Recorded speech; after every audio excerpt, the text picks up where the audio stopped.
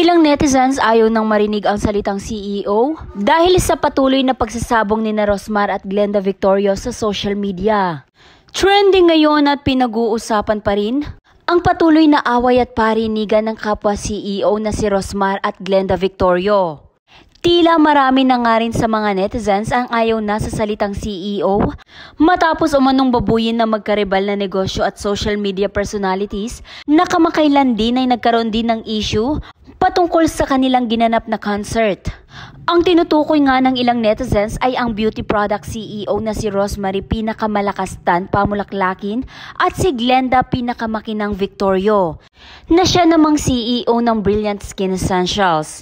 Ang dalawang CEO ay napag-usapan na naman online dahil may bago umano silang parinigan sa kani-kanilang social media account. Hu hu hu, inaalok sa akin ang uugong park. Baka para sa akin ka talaga. May tumingin daw before pero di na-approve sa loan. Ikash ko na ba? Buhayin natin ang Lost Paradise sa Morong Rizal? Hashtag pinakamalakas.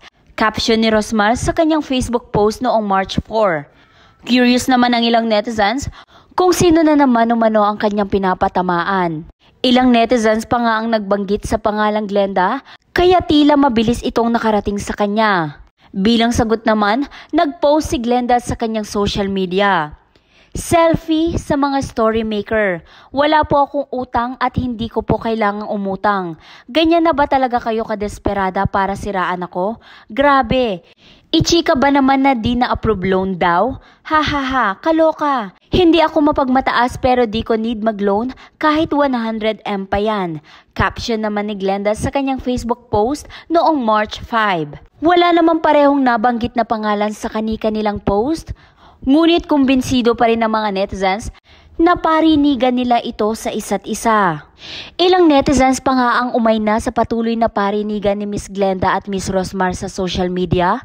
At sinabing ang titulo umanong CEO ngayon ay tila naging katawa-tawa na. Ani ng isang netizen, unpopular opinion, parang naging baduy yung term na CEO simula nung ginamit ng mga vloggers.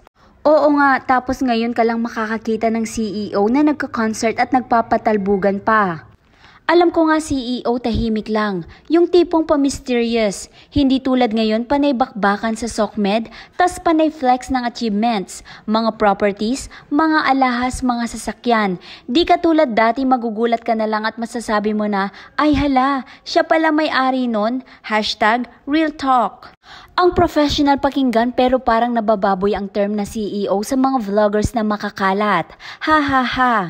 Totoo na downplay yung term na CEO, kahit sino na lang CEO. Sa patuloy nga na bangayan ni na Miss Glenda at Miss Rosmar, ang tanong ngayon ng lahat, kailan nga kaya sila magkakaayos? Kung kayo po ay may nais sabihin na komento, maaari kayong mag-iwan sa baba. And please hit like and subscribe button para updated ka sa mga trending news tulad nito. Yan ang trending!